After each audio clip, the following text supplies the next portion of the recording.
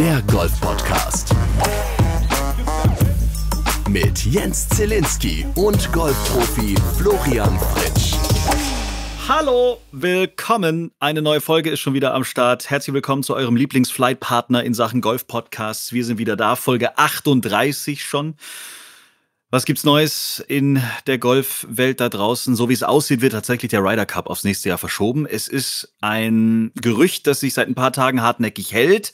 Es ist noch nicht offiziell bestätigt, aber es sieht alles wirklich danach aus, dass das in den nächsten Tagen wirklich rauskommt. Heute ist es noch ein Gerücht, aber ich glaube auch, da müssen wir uns drauf einstellen. Ryder Cup dann vielleicht dann doch erst 2021. Brandaktuell heute Jürgen Klopp hat die englische Meisterschaft mit Liverpool gewonnen. Das war eigentlich auch schon längst klar, aber es hat halt eben noch ein bisschen was gefehlt. Jetzt haben sie es endlich klar gemacht. Heute übrigens, ähm, ja, eine Sonderfolge. Wir freuen uns, dass es endlich geklappt hat. Bernd Ritthammer zieht zum einen um. Der hat quasi offiziell letzte Woche seinen Urlaubsschein bei uns abgegeben, bei Flo und bei mir. Deswegen darf der heute mal Pause machen und Kisten schleifen und schleppen. Ähm, dennoch freuen wir uns sehr auf diese heutige Sonderfolge, auf Folge 38, denn äh, ja, da sind wir quasi schon seit ein paar Monaten dran.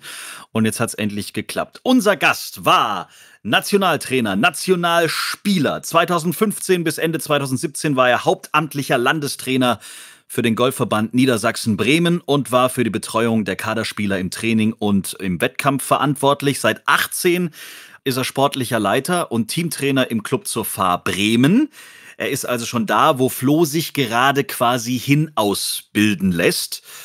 Also es treffen heute quasi Azubi und Ausgebildeter aufeinander. Und ein Vollidiot wie ich ist auch noch mit am Start.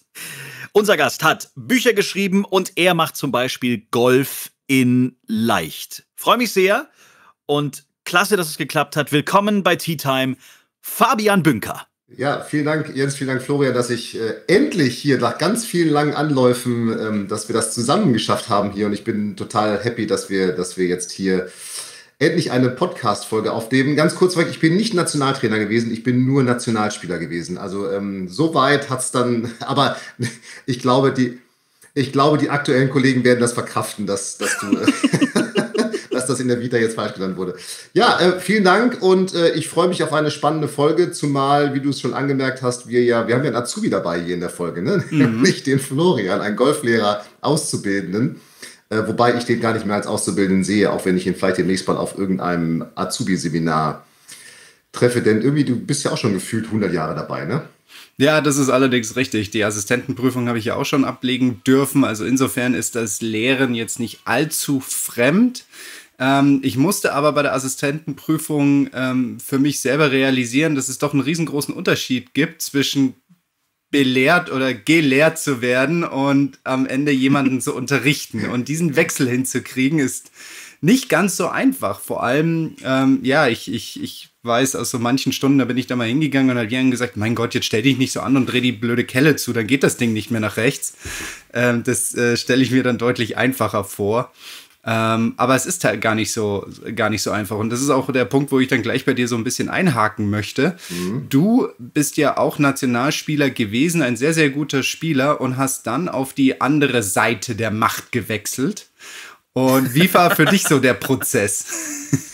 Also der Prozess war, ich bin überhaupt kein Star, ich habe noch keinen Star Wars Fan gesehen. Ja, du hast ja gerade dieses die andere Seite der Macht, die dunkle Seite der Macht sozusagen. Ähm, genau, das richtig. war ein, ähm, das war ein total schleichender Prozess bei mir, denn ich habe 2000 habe ich mein Abitur gemacht, das ist schon 20 Jahre her, oh Gott, oh Gott, und habe dann die Möglichkeit gehabt, äh, also einmal durch meine Eltern, die gesagt haben, okay, du hast Abitur gemacht, Junge, wir sind happy und glücklich, dass, dass du das gepackt hast.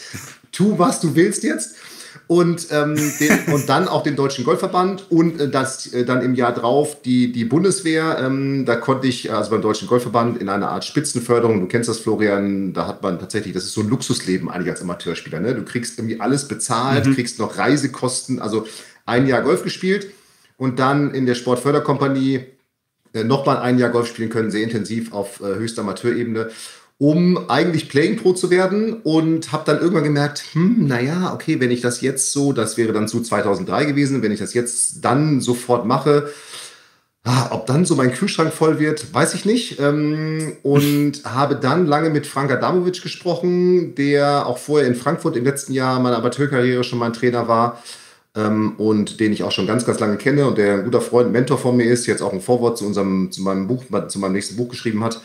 Ähm, und der hat gesagt, du, fang doch mal eine Ausbildung in St. Leon Roth an. Damals, 2003, hat mir St. Leon Roth tatsächlich noch gar nicht so viel gesagt, weil das ja gerade erst so im Entstehen war alles da.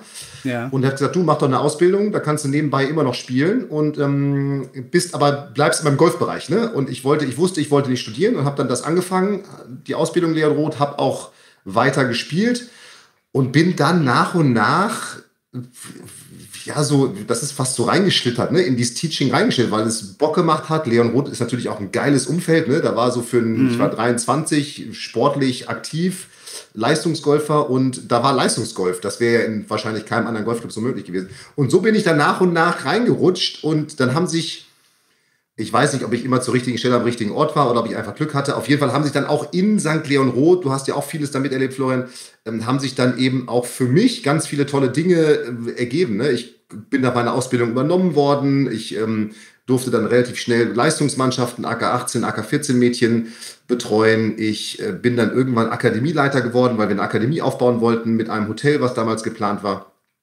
Bis hin dann irgendwann sportlicher Leiter und äh, ratzfatz waren es zwölf Jahre und die waren mega intensiv und die haben mega Bock gemacht. Und so ist es eigentlich irgendwann Teaching mehr, Spielen weniger und jetzt versuche ich es gerade, nicht, dass ich jetzt wieder Playing Pro werden will, aber ich versuche gerade das Spielen wieder so ein bisschen hochzufahren, ja, weil das äh, ist, macht irgendwie doch immer noch Bock und mittlerweile habe ich gemerkt, äh, es macht mir, also ein paar Jahre war das so als Golflehrer, boah, hm, und jetzt äh, versuche ich es gerade wieder hochzufahren, indem ich viele Trainingsrunden mit meinen Spielern spiele. Sehr gut, sehr gut.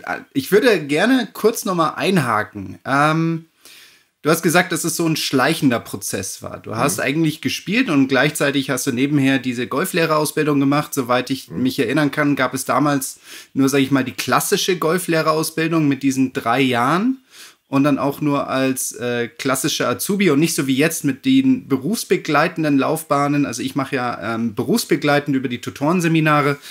Ähm, was ich ja eigentlich eine super Geschichte finde, dass ich als äh, Playing Pro oder als ehemaliger Playing Pro die ähm, Möglichkeit hatte, nebenher so eine Ausbildung zu machen. Ähm, würdest du jetzt aber sagen, ich werfe dich jetzt einfach mal provokant in die Mitte, würdest du sagen, dass man das als Playing Pro gar nicht machen darf, weil man sonst ganz schnell ähm, von der anderen Seite irgendwie angefixt wird und dann aufhört, das zu machen, was man eigentlich ursprünglich machen wollte, nämlich spielen? Puh, das war jetzt hier eine tiefe Motivationsfrage. Jens, grätsch mal rein. ähm, so ist Herr Fritsch. Man muss zwischendurch immer auch sehr wissenschaftlich an die Sachen rangehen. okay, äh, ich glaube, ähm, boah, brutal, ja. Ich kann jetzt fast nur mit so Motivationsschmankerl um die Ecke kommen. Nämlich, ich glaube, jeder merkt ja irgendwann, was wirklich seine Leidenschaft ist. Und es gibt ganz viele Teaching-Pros, die wahnsinnig intensiv spielen. Ich bewundere es immer. Peter Martin zum Beispiel, der geht morgens um sechs bei so einem Coaching-Seminar und die sind echt intensiv. Du weißt es, Florian, wir fangen da früh an. Mhm. Es geht bis in den Abend rein. Man ist den ganzen Tag unterwegs, den ganzen Tag entweder Wissen aufnehmen oder zusammenarbeiten in der Gruppe. Und der geht morgens um sechs noch spielen. Da sage ich immer, ey, krass. so eine Leidenschaft für den Golfsport. Ja. Also die habe ich, aber so krass habe ich sie nicht. Ja, also ich frühstücke dann gerne in Ruhe und lasse den Tag so in Ruhe. Aber er macht das. und ich glaube, umgekehrt ist es genauso. Ne? Wenn du jetzt für dich merkst, ähm, ey, dieses, dieses Wissen weitergeben, das ist, das ist so mein Ding und du kannst das ja, und äh, das ist ja das Geile am Golflehrerjob, du kannst es ja mega verbinden, du kannst es ja immer noch mit dem Spielen verbinden. Ne? Also vielleicht keine Turniere, aber du kannst auf den Platz gehen mit deinen Spielern, mit deinen Leistungsspielern, mit deinen normalen Schülern. Die sind total happy, wenn man mit denen auf den Platz geht, weil dieser Platz meistens viel intensiver im Unterrichten zum Beispiel ist als, als die Driving Range. Aber ich glaube, um auf deine Frage zurückzukommen, da findet jeder seine Berufung und ich finde es tatsächlich total gut, dass es mittlerweile diese verzahnten Übergänge gibt. Der Fußball macht das schon total lange ne, mit verdienten Nationalspielern. Ähm, weil einfach Menschen wie du, die würden ja vielleicht sonst irgendwann aus dem Golfbusiness ausscheiden und das wäre ja auch schade, ne? weil wenn du sagst, okay, jetzt kann ich nicht mehr spielen oder ich spiele nicht mehr, weil irgendwelche Gründe, Jetzt, weiß ich nicht, suche ich mir einen Job und werde, ähm, verkaufe Blumen für irgendwelche, äh, für irgendwas oder gehe in einen anderen Job rein. Ich weiß es nicht, ja. Also das ist ja, ist ja, darum finde ich das gut, dass es die gibt und ich kann es jetzt nicht sagen, ich glaube, da findet jeder seine Berufung. Jemand, der wirklich spielen will, der merkt irgendwann, ey, ich habe gar keinen Bock jetzt hier zum siebten Mal den Griff zu erklären Das ist doch klar, wie ja. der geht. Linke Hand oben, rechte Hand unten. Was ist denn daran so schwer? Ne? Und der sagt, ich will doch hier jetzt ne, da das Birdie spielen. So, also darum kann ich gar nicht mit Ja und Nein beantworten, die Frage. Schwierig. Siehst du, so einfach ist das, Jens. Einfach richtig greifen, dann kriegst du das schon hin mit deinen Birdies und Eagles und so, ne? Ja, ja. ja, genau, genau. Ja, ich muss, ich muss Fabians Buch nie wieder slicen, muss ich eh noch kaufen, weil vielleicht hilft das dann doch mal nach ein paar Jahren, dass ich diesen Scheiß du gibst mir bitte gleich, Du gibst mir deine Adresse und dann kriegst du das signiert zugeschickt in den nächsten Tagen. Bitte. Aber das ist wirklich auch ein interessanter Fakt. Ab welchem Zeitpunkt ging bei dir dann so abseits des, äh, ich sage jetzt mal, Trainingsalltags diese kreative Phase los, dass du gesagt hast, ich will außerhalb des Golfplatzes den Leuten da draußen noch irgendwas bieten. Also Stichwort Bücher, Stichwort Golf in Leicht, was ja dann tatsächlich äh, irgendwann entstanden ist, wo es ja jetzt wirklich ganz viele verschiedene Facetten gibt. Ähm, äh, hier steht sogar äh, das Netflix für die Golfer, so nennt ihr das tatsächlich. Ich meine, das ist ja schon sehr hoch gegriffen, aber es ist ja auch fantastisch, was du da mittlerweile auf die Beine gestellt hast. Wann kam dieser Punkt? Wir haben leider nicht den Börsenwert von Netflix, aber das war nur die Idee, dass Leute verstehen, du kannst, äh, das ist ein monatliches Abo-Modell, da komme ich vielleicht gleich nochmal drauf zu. Der Punkt kam tatsächlich in Leon Roth. Wir haben irgendwann haben wir in der Akademie gesagt, okay, natürlich können wir Unterricht geben und sowas, aber wir müssen irgendwie, es gibt so viele Menschen, die immer wieder dieselbe Frage stellen, ne? der Griff, ich komme von außen, ich slice, ich keine Ahnung was. Und dann haben wir angefangen mit dem Uwe Bornemeyer, ein mega cooler Typ im, im Golf-Medienbereich, selber verrückter Golfer, angefangen, so, so Teaching-Videos zu drehen. Also ich weiß gar nicht, wann das war, 2009 oder 2010 und das hat mega Bock gemacht, ähm, da so sein, sein Wissen darüber weiterzugeben und das eben dann zu sehen, okay, dieses Video haben auf YouTube jetzt 5000 Menschen gesehen oder keine Ahnung wie viele. Ja. Und äh, das war, und dann haben mich, äh, haben nicht nur mich, sondern auch meine Kollegen in der Akademie damals immer mehr auch Menschen angesprochen, ey, das Video, der Tipp, der war super gut, der hat mir geholfen. Und so ist dann eins zum anderen gekommen. Dann habe ich 2014 habe ich meinen Blog gestartet, fabianbünker.de ähm, oder mein Blog Up and Down und habe da angefangen dann sozusagen über das Schriftmedium Blog äh, gemixt mit Bildern ähm, Trainingstipps, Trainingsübungen weiterzugeben. Ähm, immer Mix aus, ich sag mal, das ist jetzt die in Anführungsstrichen richtige Technik oder so sollte man greifen, ja, oder so sollte man im Abschwung die Arme bewegen, wenn man es leist. Und aber eben auch zu sagen, guck mal, so kannst du Patten üben. Und dann ist daraus wiederum das Buch Nie wieder Slicen entstanden, äh, das Buch Besser Driven. Ähm, dann ist äh, mein irgendwann 2014, 2015 ist mein, oder was noch später, 2016, 17, ich weiß gar nicht, ähm, ist dann irgendwann der Nico Osenberg äh, auf mich zugekommen, mit dem ich Golf in Leicht zusammen mache und hat gesagt, ey, ähm, er kommt aus dem Marketing er ist selber auch begeisterter Golfer und er ist eigentlich die ganze Zeit auf einer Suche nach so einer Trainings-Online-Plattform, wie es die eigentlich nur im englischsprachigen Bereich gibt, ob ich nicht Bock hätte, das mit ihm zusammen zu machen. Und so ist dann äh, in den letzten Jahren, 2019 sind wir gestartet, ist dann Golf in Leicht geworden als ein Mix aus, wir haben einen Podcast, hm, so wie ihr, wo wir wöchentlich Trainingstipps, Interviews mit interessanten Menschen aus dem Golfbereich haben, aber immer mit der Idee, okay, das soll sofort umsetzbar für das jeweilige Golfspiel sein. YouTube-Kanal natürlich, Golf in Leicht und eben dann diese Mitgliederplattform, Abo-Plattform Golf in Leicht, wo wir mittlerweile, ich glaube, über 200 Trainingsvideos drauf haben, verschiedene Experten mit Martina Eberl, Steffen Benz, Stefan Kloppe, tolle Menschen dabei, die auch da ihre Tipps aus den jeweiligen Bereichen geben. Und ähm, so ist es dann entstanden. Und dieses, diese Idee, was du gerade gesagt hast, Netflix für Golfer, ist eben so dieses, unser Modell ist eben wie Netflix. Es ist ein monatliches Abo-Modell, es kostet 9,90 Euro. Und du kannst aber auch nach einem Monat sagen, keine Ahnung, jetzt habe ich keinen Bock mehr, äh, dann kündige ich. Mhm. Und bist dann eben wie bei Netflix auch, je nachdem, wann du im Monat kündigst, eben dann sofort, sofort raus und hast dann keine Kosten mehr. Also ein smartes, schlankes Modell, um einer möglichst breiten Masse zu ermöglichen, eben ihr Golfspiel zu verbessern. Glaubt ihr, dass in diese Richtung sich zum Beispiel auch das Golftraining noch mehr entwickeln wird? Also, dass alles mehr noch so on demand sein wird? Also, dass ich, keine Ahnung, ich gehe auf die Range und kann mein Pro quasi anklicken sozusagen und ich kann äh, mehr oder weniger multimedial so wie ihr das jetzt ja tatsächlich auch irgendwie habt, aber noch mehr auf mich bezogen, dass das irgendwann in die Richtung geht, dass ich mehr oder weniger so eine Art On-Demand-Training machen kann, aber auf mich wirklich bezogen? Die Technik wird ja immer krasser in der Hinsicht. Äh, spannende Frage. Äh, wahrscheinlich wird es das, wird es das immer möglich sein, ne? dass du kann ich jetzt, ich bin kein Technikfreak. Ich sage immer, ich bin nur Golflehrer, ja. Also ich kann immer nur so diesen Golfinhalt. Aber äh, warum sollte das jetzt nicht mit Smartphones und Apps und keine Ahnung was möglich sein, dass eben du auf der Driving stehst und sagst, okay, äh, Siri oder Golf in Leicht oder wer auch immer, gib mir jetzt meinen Trainingsplan für Mittwoch. Und dann ist da eben hinterlegt, okay, heute trainierst du Patten, weiß was ich. Das wird es wahrscheinlich geben. Ich glaube aber natürlich, weil dieser Golfschwung auch so, und das weiß Florian noch besser, der ist viel unterwegs gewesen und hat sicherlich auch dann über Video und WhatsApp mit seinen Trainern kommuniziert irgendwie, ähm, äh, dass dieser Golfschwung trotzdem immer noch so komplex ist, dass dieses 1 zu 1 Teaching hundertprozentig nicht weniger wird. Es wird sich verändern, glaube ich. Es wird, glaube ich, immer mehr Menschen geben, die sagen, ich mache jetzt nicht mehr jeden Dienstag um 15 Uhr meine Stunde, sondern ich mache, keine Ahnung, drei Stunden im Saisonstart und dann habe ich vielleicht mein Online-Training irgendwie mhm. und dann mache ich noch mal einen Trainingstag irgendwann in der Mitte. Ich glaube, ich, das merke ich jetzt auch bei meinen Spielern, es geht auch immer mehr so in, ich möchte mal on Block ein Wochenende oder ähm, drei Tage oder zwei Tage oder irgendwie mit dir trainieren und dann ich, kriege ich meinen Trainingsplan das ist ja das Schöne, ist auch an Golf in Leicht, denn dann kriege ich meinen Trainingsplan zum Beispiel und äh, dann trainiere ich drei, vier, fünf, sechs Wochen und dann komme ich irgendwann, komme ich irgendwann wieder. Ich, ich, ich, ich versuche gerade zu überlegen, was das für Auswirkungen auf die klassische Unterrichtsstunde hat. Ja, diese, diese One-on-One -on -One mit dem Golflehrer. Ähm, vor allem auch mit, ähm, das würde mich mal interessieren, wie Fabian das sieht. Ich hatte immer das Gefühl, dass so eine Golfstunde ziemlich ruhig war. Ja, jemand ist hingegangen, hat eine ruhige Golfstunde gemacht und, und kam dann nächste Woche wieder.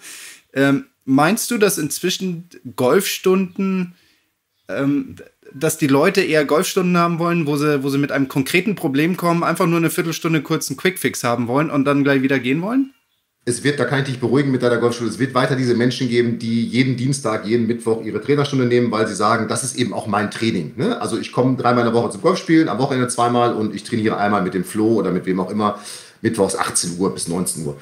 Mm, die wird es weitergeben. Es wird immer mehr Menschen geben durch äh, online eben, also auch durch diese vielfältigen Möglichkeiten. Ne? Die hören euren Podcast, die hören meinen Podcast, irgendeinen Podcast, die gucken auf YouTube. Die Leute gucken ja wahnsinnig viel, mit was für Fragen die immer kommen. Da denken wir, oh, wow, wie viel Zeit hast du über YouTube jetzt verbracht, ja, um mhm. das zu recherchieren? Das ist ja Wahnsinn, also brutal.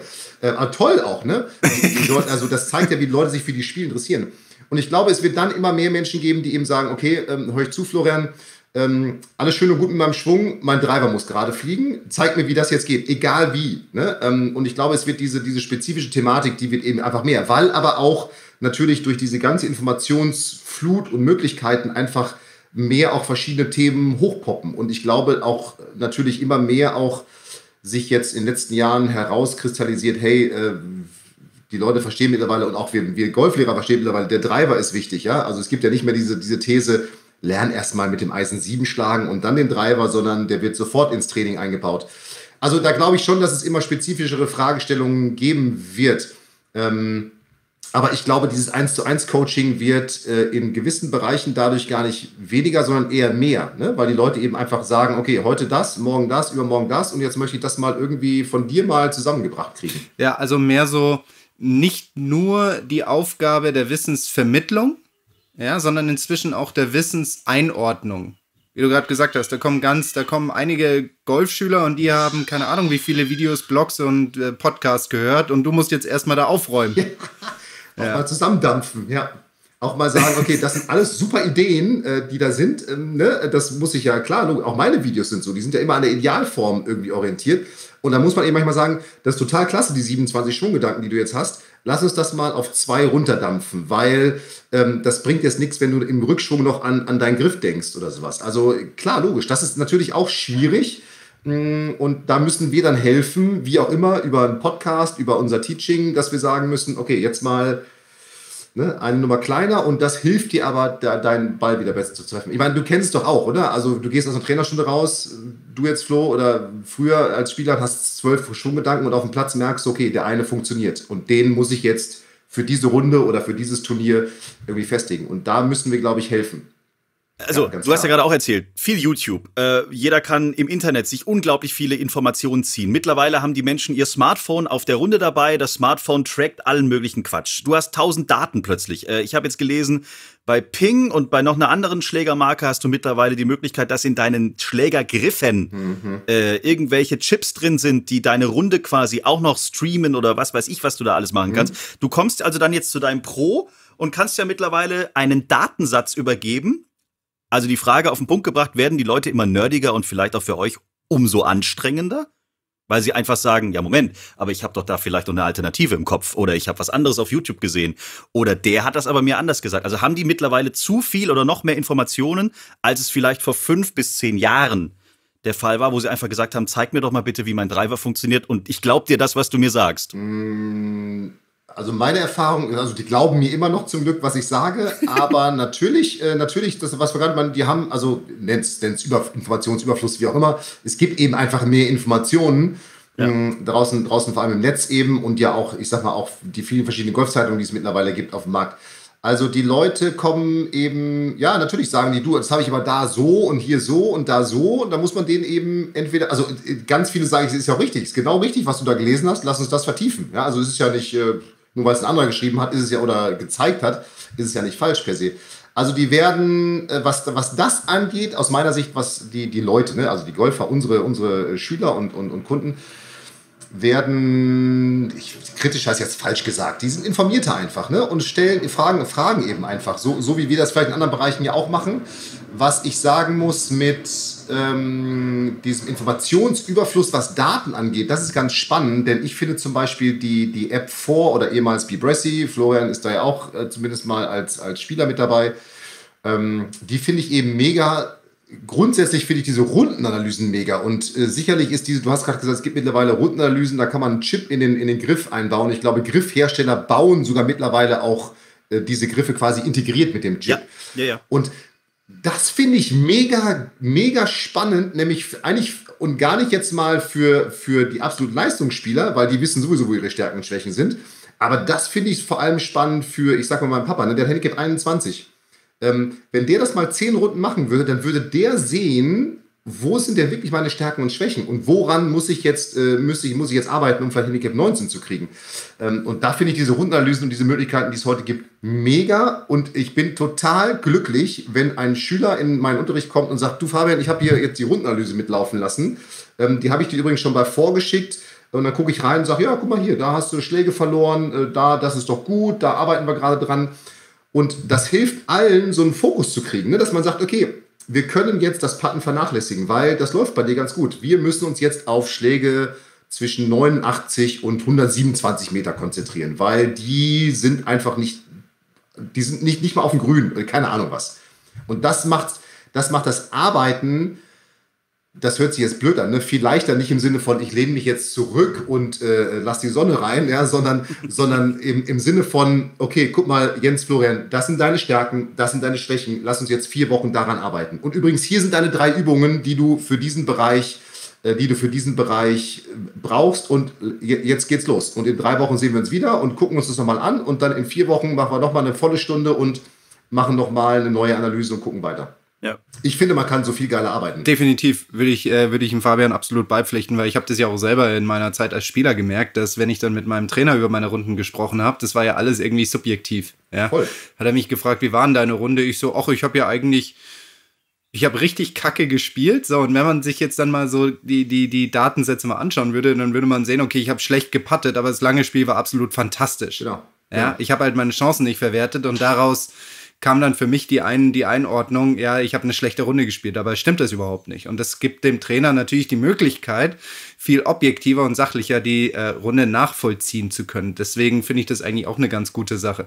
Woran ich jetzt aber kurz denken muss, deswegen musste ich vorhin ein bisschen schmunzeln. Es gibt einen Fußballtrainer, der heißt Tobias Zellner. Ich glaube, der war bei Augsburg und auch mal bei Schalke. Jetzt ist er wieder zurück bei Augsburg, war Co-Trainer. Und der hat mir mal erzählt, als wir uns getroffen haben, er will heute kein Fußballspieler sein, weil er sagt, alles, was du tust alles, während der Woche, alles. werden die Trainer ja. rausfinden.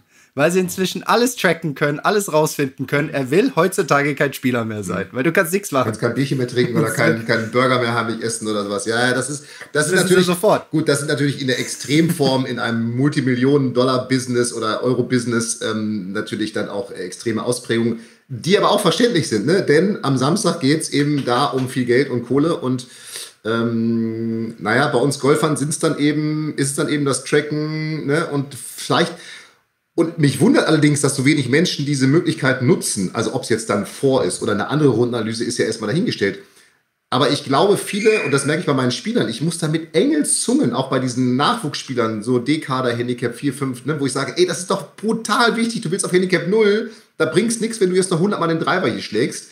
Ähm, da muss man so mit Engelszungen auf die einreden, dass sie, dieses, dass sie diese Rundenanalysen machen. Äh, wobei bei mir als Spieler war es früher auch so. Ich glaube eben manchmal auch, es hat den Grund, vielleicht kannst du es noch eher bestätigen oder auch nicht, Florian.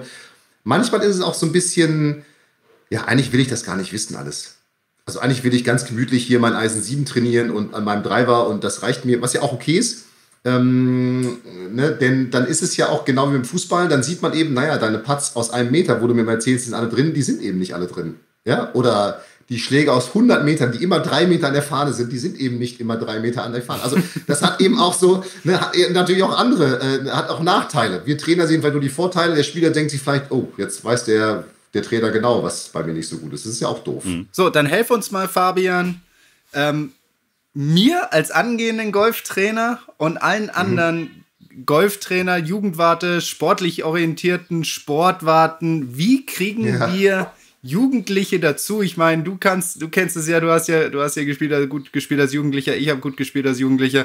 Wie kriegt man Leute wie uns dazu, das tatsächlich zu machen? Also der Fisch stinkt immer vom Kopf. Also wenn natürlich ich als Trainer diese Dinge ein, also sage, du musst das machen, aber mir dann natürlich im Training nicht angucke, schlecht. Dann sagt der Spieler irgendwann auch, ja, okay, dann muss ich jetzt, auch wenn es nur mein Handy ist, dann muss ich jetzt mein Handy nicht anmachen auf der Runde dann oder irgendwas anderes, da muss ich mir keine Griffe aufziehen lassen, die 5 Euro mehr kosten, brauche ich nicht. Äh, man muss es natürlich anwenden und ich bin jetzt tatsächlich dabei, ich muss mich da auch selber immer wieder zu zwingen, ne? dass ich dann da reingucke und sage, okay, guck mal hier, in jeder Stunde. Äh, ich glaube, wenn man, wenn wir Trainer wirklich anfangen, in jeder Stunde das zu machen, und dann irgendwann die Spieler, die das nicht machen, merken, ey, der Florian, der macht das immer mit seinem Trainer. Die gucken sich immer die Analysen an und der kriegt immer seine Übungen und der trainiert mittlerweile viel weniger als ich und der ist aber viel besser geworden ich glaube, da ist das sozusagen so eine, so eine, ja, ein Virus ist ein schlechtes Wort in diesen Zeiten, ne? aber wie so ein Virus, der dann in positiver Art und Weise. Bakterium. Ja, wie auch immer, ja. Ähm, ein positiver Virus, ja. Also das ist der, der Entwicklungsvirus dann, der dann so um sich greift und dass dann Menschen merken oder Spieler merken, ey, wenn ich das jetzt mache, okay, ne? Ähm, ja, mittlerweile sage ich, okay, ich, ich fordere quasi ein zwischen zwei Stunden, dass du mal mindestens neun Löcher gespielt hast, zweimal neun Löcher mit so einer Runde das ist aber auf Dauer brutal anstrengend, ne? weil, weil da muss man immer hinterherrennen und sagen, ey, du spielst morgen, mach es bitte an. Ne? Oder ihr geht doch jetzt spielen, mach es an. Ähm, zu anstrengend. Im, im, im, Alltags, Im Alltagsgeschäft, finde ich. Also sich da permanent jeden dran zu erinnern. Irgendwann müssen die eben merken, man hat was davon und das liegt dann an uns Trainern, dass wir diese, diese Daten eben auch wirklich dann wirklich nutzen. Und wirklich jedes Mal nutzen und sagen, ich gucke es mir an und auch dann irgendwann mal sagen, so wie du, ne, ey, meine Runde, ich habe eigentlich total geil gespielt, ich habe nur keinen Putt reingemacht. Dass man sagte, warte mal, lass uns doch einmal kurz in deine Analyse reingucken. Nee, das war gar nicht so schlecht, dein Putten. Weil du hast immer einen 15-Meter-Putt gehabt als ersten. Dann sind 36 Putts oder wie auch immer, sind dann eben nicht so schlecht. Ja, also ähm, ich glaube, das ist so der, der Weg. Alles andere, ich habe es mit, keine Ahnung, mit Bonus versucht, du kriegst Punkte und äh, alles, alles nicht funktioniert alles nicht funktioniert. Jens, wie würde man dich dazu bringen? Ja, das wäre, ja, Du bist genau. ja genauso großes Spielkind wie ich. Das Zeug zu tracken, also ich probiere das tatsächlich ab und an. Ähm, allerdings ist bei mir immer so das Ding, mir fällt es dann zwei Loch später wieder ein, ach scheiße, ich hätte ja irgendwie vor, vor ich muss es noch weiter befeuern. Ach ja, ich muss ja noch meinen Score eintragen. Ach ja, wie viel Putts hatte ich denn? Oh Mann, an der 2, mhm. was jetzt bin ich auf der 5, keine Ahnung. Mhm. Und dann mhm. lässt es halt wieder sein. Aber ich sehe das ja, ich habe schon oft gesagt, ich, ich, ich sehe das wirklich als Hobby. Ich muss nicht runter mit meinem Handicap. Also ja, einstellig mal wieder wäre wieder cool, aber ich sehe es ganz entspannt. Und auf dem Golfplatz freut man sich auch, ich habe schon oft erzählt, wenn ich wieder Bahnen streue und man sich mit anderen Flights trifft, weil, ach, Zielinski, hast du wieder, hast dich wieder in der Bahn getäuscht. Wieder, du wieder. Bist du nicht zwei Stunden nach mir gestartet? Wieso bist ja. du schon neben mir? Ja, das schön dich zu sehen. Das mögen die Leute an mir und das, diesem Image muss ich weiter folgen. Dann bleib dabei lieber. Dann mach dann, dann auch keine Trainerstunden nehmen oder sowas. Nee, mal konsequent. Auch seit Jahren schon. Nein, nein, also das will ich tatsächlich ja, auch mal wieder machen. Ich, ich, äh, ja, Flo kennt das ja. Mit mir Golf zu spielen macht Spaß. Ich bin, in der, ich bin nie in der Nähe, ich bin immer weg. Man hat immer seine Ruhe. Ähm, und oh ja. kann Flo ganz entspannt seine Bahn laufen. Also du bist, ja, du bist der perfekte Mitspieler in diesen ja, Zeiten. Absolut. Social Distancing. Habe ich perfektioniert, ja, schon vor Jahren. Ja, sehr gut. Aber das, was du gesagt hast, ne, was du eingangs gesagt hast mit diesem, das ist mein Hobby, das ist ja auch ganz wichtig. Ne? Es gibt eben, äh, ich finde, man muss das auch immer so ein bisschen unterscheiden. Und die Spieler, die du dann ja auch wahrscheinlich in deinen Mannschaften hast, ne? oder diese Nachwuchsspieler, die muss man manchmal so ein bisschen zwingen, das zu machen. Jetzt, wenn dann ein Schüler kommt und sagt, ey, Fabian, ich will, dass mein Driver schön fliegt und der wird toll getroffen oder äh, keine Ahnung, das ist ja auch gut, das ist ja ganz wichtig. Das ist ja, wie du sagst, das ist deren Hobby, ne? Das soll Spaß machen. Das muss man ja jetzt nicht überfrachten mit irgendwelchen Dingen und Trainingsplänen und nochmal hier Analyse da und hin yep. und her. Wenn du am Ende sagst, das war ein geiler Tag in Leon Rot und ich habe den Florian nur am Tier 1, 10 und an der Bar nachher gesehen, auch gut, wenn dir das reicht. Wir machen an der T-Box 1 immer aus, wir treffen uns am Ende im Clubhaus und da, da treffen wir uns dann ja. wieder. Aber bevor man jetzt diese ganzen Daten ähm, sammelt, muss man ja erstmal überhaupt zum Golfspiel kommen? Das wollte ich euch beide nochmal fragen, weil wir hatten vor ein paar Folgen mal äh, einen Hörer zu Gast, der quasi kurz vor der Platzreifeprüfung stand.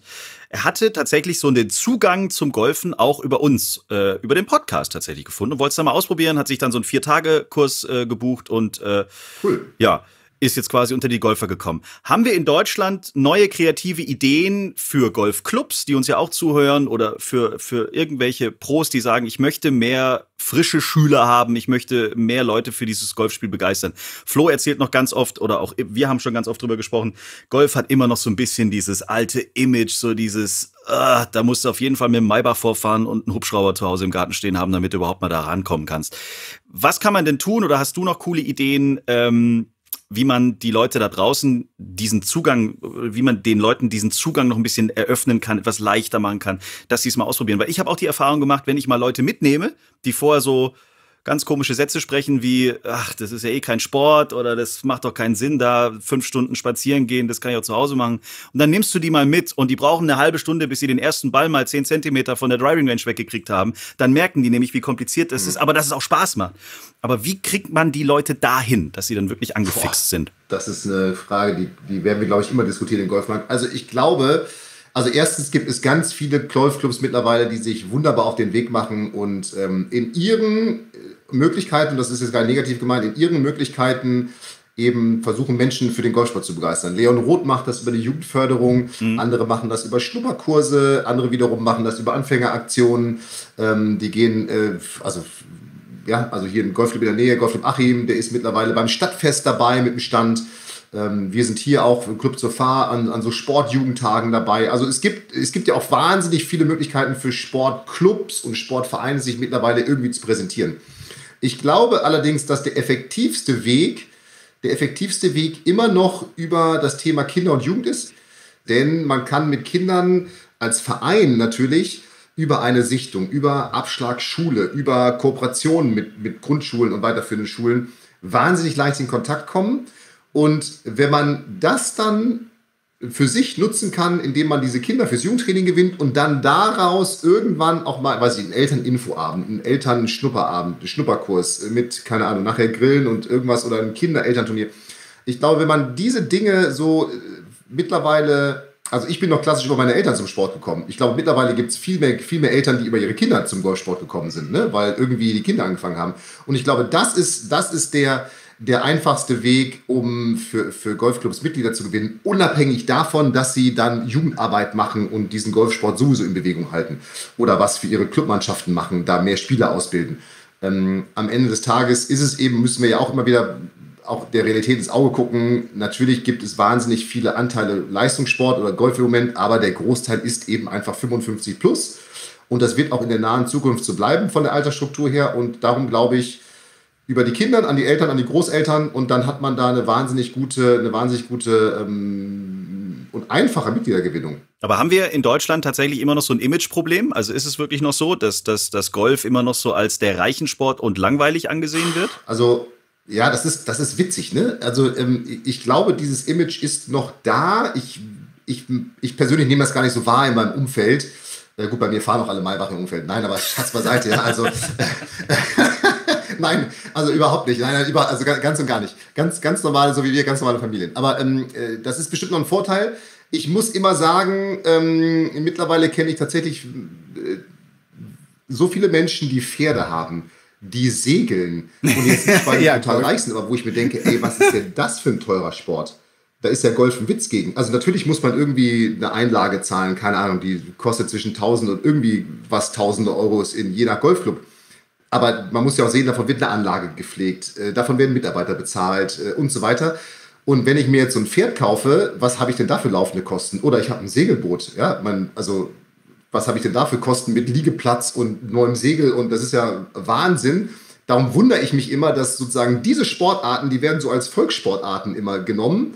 Ähm, jeder reitet ja gefühlt und da sagt keiner, boah, du bist aber hui, ja. Mhm. Äh, und wenn ich auf ein Reitturnier gehe, da stehen auch nur SUVs und irgendwelche Pferdeanhänger, die, keine Ahnung, 10.000 Euro kosten. Also das sehe ich tatsächlich nicht mehr so und äh, auch durch, durch viele Projekte vom Verband, äh, von vielen Golfclubs. Guck mal, wie viele Traditionsclubs machen brutal intensive Jugendarbeit mittlerweile.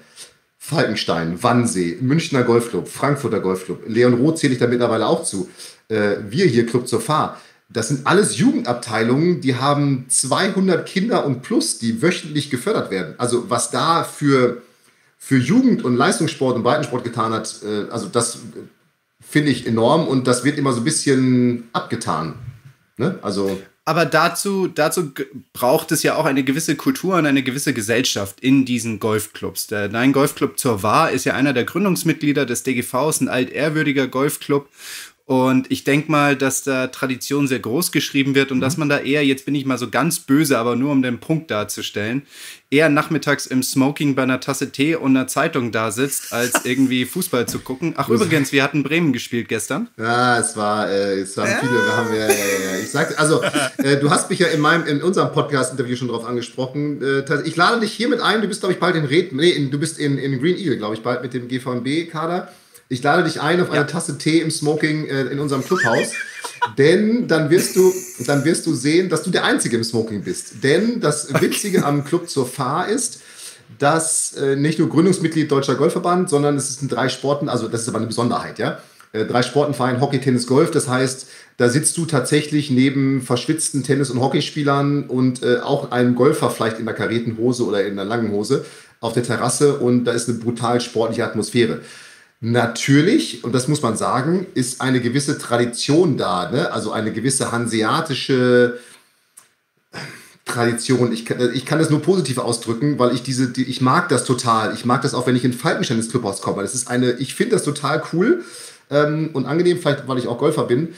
Aber es ist jetzt nicht so, dass man nach dem Motto, okay, der hat jetzt hier kein, kein, kein Einstecktuch oder sowas, ne? Was ist denn das für einer? Der hat ja hier unsere Etikette überhaupt nicht. Äh, also ganz im Gegenteil. Du kannst sogar in der Jeans, ja, und da gibt es ja Golfclubs bei dir um die Ecke, die das nicht erlauben. Du kannst sogar in der Blue Jeans auf die Driving Range gehen. Also ich sehe dieses, ich sehe dieses, äh, ich fahre Maybach vor und steige in meiner karierten Chervo-Hose aus und äh, habe dann nachher mein Blueberry, meine Blueberry-Tasche oder keine Ahnung was.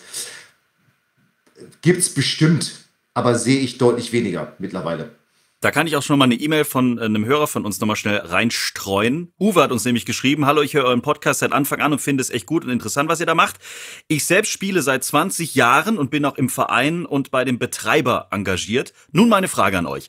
Wie steht ihr zu den Kleiderordnungen auf dem Platz? Insbesondere Blue Jeans und Shirt mit Kragen, da oftmals die Meinung herrscht, wir sollten alles offener gestalten und das alles nicht so eng sehen und so weiter und so fort.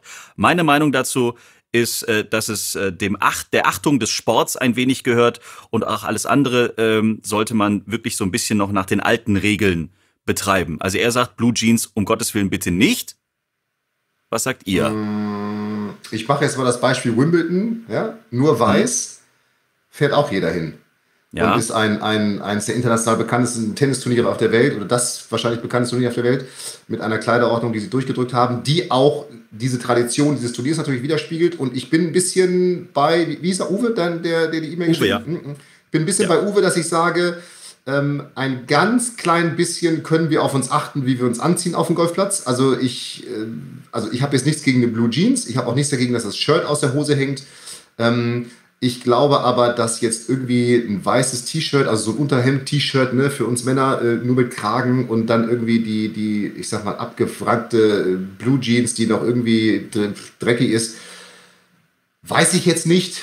Ähm, auch da gibt es ja Plätze für, wo das okay ist. Ähm, ich würde aber sagen, so ganz allgemein ähm, ein ganz klein bisschen, ja, ist es ja auch eine Sportkleidung. Also ich sehe es jetzt gar nicht nur so als Tradition. Wenn ich auf den Tennisplatz gehe, ziehe ich auch eine Tennishose an und irgendwie keine irgendwas.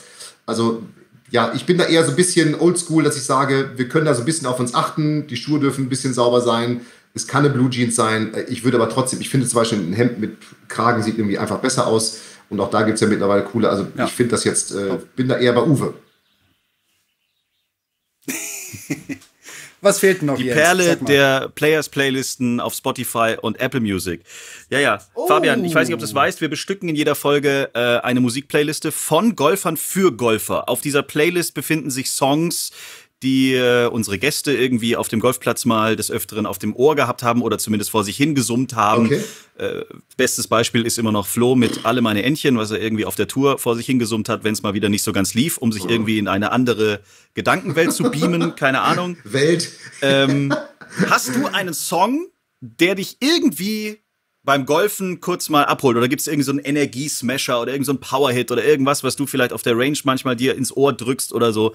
Irgendein Song, der dir sofort in den Kopf schießt oder den du gerade rauf und runter hörst, völlig aber, egal. Äh, äh, also ich habe, ich habe nie, nie, ich habe nie mit Kopfhörern trainiert. Wenn dann immer nur, habe ich es drin gehabt, keine Musik gehört, damit mich keiner quasi anquatscht, um Konzentration zu haben. Ähm, Boah, was singe ich denn mal? Ich singe zwischendurch mal ähm, das Werder-Fanlied 1899, wenn es mir wieder gut gehen soll. Wobei, das ist auch ein anderes Thema im Moment, aber ähm, ich habe gerade gar keinen. Gut, dann fange ich mal an, dann hast du ein bisschen Zeit zu überlegen, Fabian. Ich Wenn du jetzt die Perle des Südens auspackst, dann haben wir ein Problem, Herr Fritsch. Nein, Stern des Südens. Dann ist hier Stern echt Polen offen. Äh, Stern des Südens. da, aber das ist okay. Ich nehme, ich nehme Baba Sparks mit Deliverance. Ja, der, ist, mhm. der ist cool. Nee, ich finde, ähm, äh, bei sowas, ich finde hier Happy von, wie heißt er? Cause I'm happy. Ähm, Pharrell Williams. Äh, so ist es, so ist es, so ist es. Und ich finde Adele, ich finde Adele total gut. Ich suche gerade das Lied, was ich meine, äh, wenn ich zwei Lieder nominieren darf. Vielleicht könnt ihr noch ein Lied in der Zeit äh, suchen äh, oder sagen, was ihr so gut findet. Also ich habe äh, für heute ausgesucht Moose T Rock the Mic. Das habe ich nämlich letztes Mal tatsächlich äh, auf der Heimfahrt nach meiner 41er Netto-Runde letzte Woche äh, gehört. Und ich war ganz gut drauf, muss ich dazu sagen. Aber es hat natürlich wieder mal nicht, äh, es war nicht vorgabewirksam. Ich Vollidiot. Egal. Aber es wird noch dieses Jahr. 41, Respekt. 41 schon, ein, so über 40 ist immer schon geil, finde ich, muss sagen. Das ist immer schon richtig cool. Ja. Äh, Rolling in the Deep von Adele heißt es. Oh. Das finde ich sehr cool. Das Sehr gut, kommt Playlist, drauf auf die, die Players Playlist. Okay. Spotify und Apple Music, da könnt ihr sie finden, ihr Coole folgen Idee. und uns natürlich auch jede Menge Songs äh, zuschicken über Instagram, Facebook und so weiter und so fort. Fabian, was kommt als nächstes bei Golf in Leicht auf die Golffans überall zu? Kannst du uns noch irgendwas Tolles erzählen? Ja, auf jeden Fall. Wir haben gerade, ich habe gerade den Probedruck, ich habe ihn jetzt nicht hier, von äh, meinem oder unserem neuen Buch, Der Handicap-Verbesserer. Das werden wir jetzt im Juni rausbringen. Ich weiß nicht, wann der Podcast jetzt äh, rausgeht pünktlichst dazu. Ja. Pünktlichst dazu, okay, also es kommt jetzt so Mitte, Mitte, Ende Juni wird das, wird das rauskommen. Und das nächste wird dann ein äh, Videotrainingskurs zusammen mit dem Markus Papst sein äh, von Golfathletik, den ihr sicherlich auch kennt äh, von Facebook, der ist auch sehr aktiv und Instagram, der, mit dem ich zusammen einen Kurs gemacht habe zum Thema länger driven. Also ein schönes Zusammenspiel, Fitnesstrainer mit Fitnessübungen und dann ich mit auf der Golfseite mit, mit den entsprechenden Golfübungen und das immer so ein bisschen auch zueinander verzahnt, äh, dass man da sein Trainingsprogramm hat, was man durchführen kann, um dann den Ball länger und konstanter natürlich zu treiben und zu schlagen. Das sind die zwei Dinge, die jetzt so äh, an, an, an, anstehen und, und rauskommen, die sich durch Corona etwas verzögert haben, aber die wir jetzt fertig haben. Genau das Richtige für uns. Also länger und konstanter und gerader finde ich eigentlich gut. Gut, gerader hat er jetzt nicht gesagt, aber länger und konstanter hört sich doch schon mal gut an. konstanter, konstanter ist er. Ja. Hast du uns beide jetzt gerade in die gleiche Schublade gesteckt? Das finde ich ja lustig. Ja, so, ja, ja würde ich sagen. Hat er. Hat er gemacht. Hat er gemacht. Ja, ich kann schon ordentlich driven, aber es ist halt in der Regel kein Golfplatz in der Nähe, wenn der Ball runterkommt.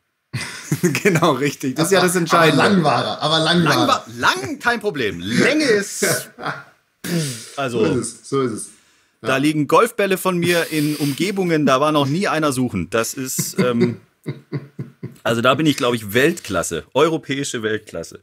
Na gut. Fabian, das hat viel Spaß gemacht. Danke, dass du zu Gast warst Mir in dieser heutigen Tea Time Folge. Mir auch. Vielen Dank für die Einladung an euch beide. Und äh, ja, ich würde sagen, das sollten wir wiederholen oder wir können das ja gegenseitig jetzt auch nochmal äh, als Dreier-Interview demnächst machen. Absolut. Bei so mir im Podcast sozusagen. Sehr schön. Dann bleibt alle gesund und wir hören uns demnächst wieder mit einer neuen Folge von Tea Time. Die Herren, einen schönen Tag, genießt das Golferleben. Bis demnächst. Tito, Tschüssi. danke, viel Spaß. Ciao. Ebenso, bis dann. Ciao. Schreibt uns, liked uns. t-time.golf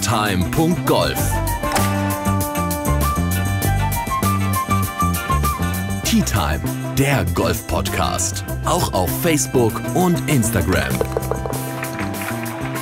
Tea Time. Tea Time ist eine Produktion von Pot Ever. Infos und noch mehr spannende Podcasts gibt's auf potever.de.